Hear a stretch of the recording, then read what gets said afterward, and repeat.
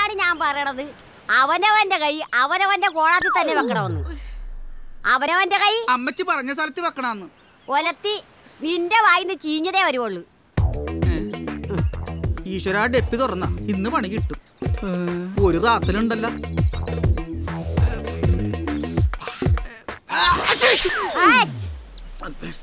അമ്മച്ചി ഇങ്ങനെ നടന്ന് തുള്ളിട്ട് കാര്യമൊന്നുമില്ല. ഇതിപ്പോൾ ആദ്യമായിട്ടൊന്നുമല്ലല്ലോ. അഴകനീ പണി തുടങ്ങിയിട്ട് നാൾ കുറയായി. അന്നാ നീ അവരെ പിടിച്ച ഒരു മുത്തം കൊടുക്ക്. എടാ ഈ പണ്ടി ഈ കാലം തൊട്ട് ഈ കടപ്പുറം ഭരിച്ചിരുന്ന ആരാണെന്ന് എനിക്കറിയാമോ എനിക്കറിയാം. ടിപ്പു സുൽത്താൻ.